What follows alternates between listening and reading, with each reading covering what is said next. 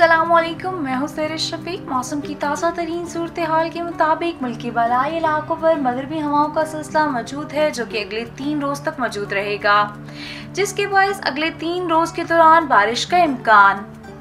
इस्लामाबाद खत्े पोतखार पेशावर समेत मुल्की बलाई इलाकों में अगले तीन रोज़ के दौरान तेज़ हवाओं और गरज चमक के साथ बारिश का इम्कान। इतवार से मंगल के दौरान मुल्तान बखर लैया, डेरा गाजी खान और बहावलपुर में बाद दोपहर आंधी चलने का भी इम्कान है। सुबह बलूचिस्तान और सिंध में अगले तीन रोज तक बारिश का कोई इम्कान नहीं।